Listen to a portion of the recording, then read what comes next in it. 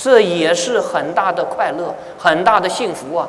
大家要知道啊，早晨起床，在这个地球上有很多人就起不来了。这个有科学数据统计，就是每一天躺在床上，第二天再也起不来的人，不是用千来算的，是用万来算的，有几十万人，每一天早晨就离开的。我们出去旅行还能够平安的回来，这也是很快乐的事情啊。有很多人出门遭受意外，我们居住在这个地区，生活的很安稳。没有灾难，跟其他有灾难的地方相比，不也是很快乐吗？当然，我们不是说看到别人有灾难，我们自己没灾难，幸灾乐祸啊，不是。我们要懂得满足，我们多么幸运。所以在这个地方啊，我们自己呀要多想一想那个九十九，不要老想那个一。当我们感觉不足的时候，马上回过来。哎呀，我缺的不就一个吗？我现在有的是九十九个啊，为什么不快乐呢？我有九十九个理由快乐，为什么为了一个理由不快乐呢？想到这一点，马上就能够转苦为乐。这个就是啊，我们在生活中虽然会遇到很多不如意的遭遇。同样可以回过头来，把内心的快乐给找出来。内心才是快乐的根源，并不是外面啊。当然，外面的生活也很重要，可是我们用什么心态去面对外面的生活，才是更重要的。当我们有了这样健康乐观的心态。回过头来再去面对现前的生活，有钱会更快乐，没钱也同样快乐。那有人说没钱快乐什么啊？没钱穷开心啊！大家不听过穷开心？我剩的只有开心，为什么不快乐呢？有些时候我们发现啊，有些没钱的朋友啊，反而比那个有钱的更开心。什么缘故？没钱不用担心人家来抢了。晚上睡觉门都不用锁，为什么呢？家里面没什么值钱的。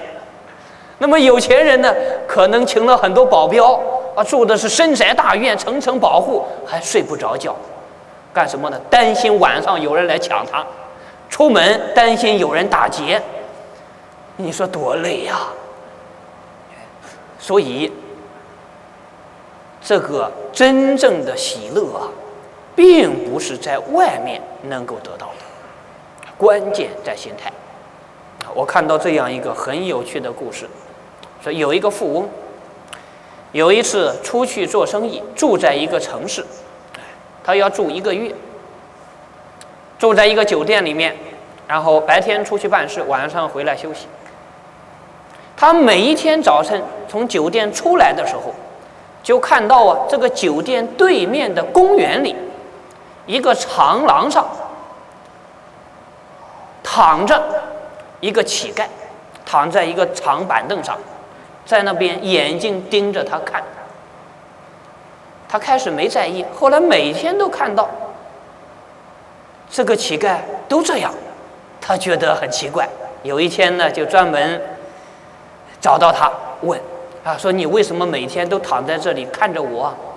他说我不是看你，我是看那个酒店。啊，这个富翁就觉得很有意思，问他：“你为什么看酒店啊？”他说：“啊，啊，我每天躺在这里睡觉都是一种享受。啊，白天啊，我用我的生活方式来维持我的生命；晚上啊，我就回到这个长板凳上睡觉。睡觉之前，我眼睛就看着那个豪华酒店，我就想里面最舒服的一间房子。想着想着，我就睡着了。”一睡着呢，我就发现我真的住在总统套房，里面是应有尽有。哎呀，我什么都能享受得到。醒来的时候，眼睛一睁开，我就发现我从酒店里面又回到这个长板凳上，所以我感觉好像是真的一样。我要多看看，每一天都是这样，我觉得这个生活挺不错。这个富翁啊，看到这个乞丐很可怜，说：“你单单这样想，你也享受不到啊！啊，这样吧，我在这个酒店给你订一间总统套房，我在这一个月，你呢就跟我住同样的房间，同样的待遇，让你满一满这个愿，心想事成，梦想成真。”这个乞丐呢也很高兴。哦，终于啊，美梦成真了。于是啊，当天晚上就搬进总统套房。可是谁晓得，第二天一大早，天不亮他就跑出来了，还回到这个长板凳上睡觉。富翁一出门又看到他还在那个长板凳上睡觉，奇怪啊，就问他：“哎，说总统套房为什么不住，跑到这里来睡觉？”他就说啊。我不能住总统套房，什么缘故啊？他说我躺在这里一睡着就住总统套房，可是我躺在总统套房一着就睡长板凳，我在做梦的时候都是在睡长板凳，以至于我在那个总统房间睡不着觉，所以我感觉还是回到我的这个板凳上啊 睡得更舒服。哎呀，这个富翁啊，看到之后啊，觉得这个人。也挺有意思，他用他自己独特的生活方式去享受人生。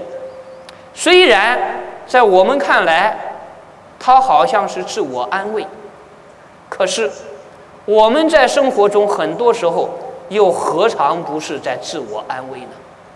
生活不过就是一场梦。晚上睡着了，躺在总统套房睡着，跟躺在大街上睡着。大家说有什么两样？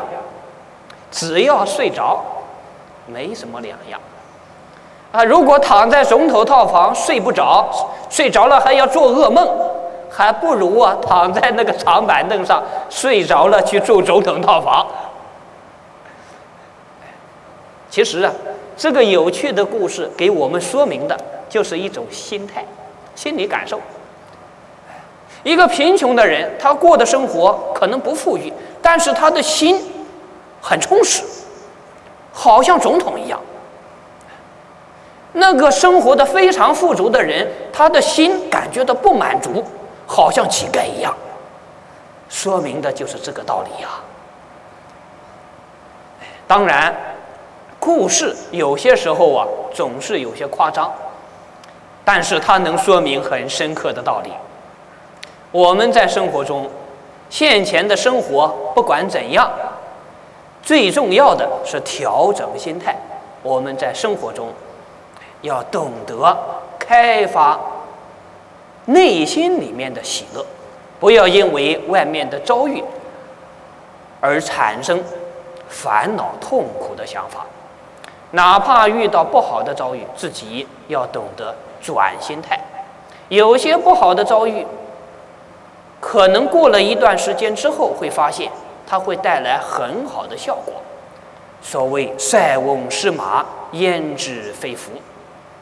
啊，我们在生活中要常常学会一句话：不管遇到什么事情，要说“太好了”，然后就说“这也会过去”。什么事情啊，很快就过去了。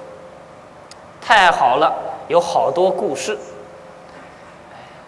现在在中国有一个教育学家，他专门推广一种教育，教导小朋友培养乐观的心态。遇到什么事情，先说太好了。譬如今天出门下雨，太好了，这么热的天气终于下雨了。那明天出门有大太阳，太好了，好久没晒太阳了。说今天到此地来，是不是太好了？可能有朋友想，好什么啊？坐在这边这么无聊，讲的又这么烂，赶紧讲完，赶紧回家，这就太好了。你这么想也不错。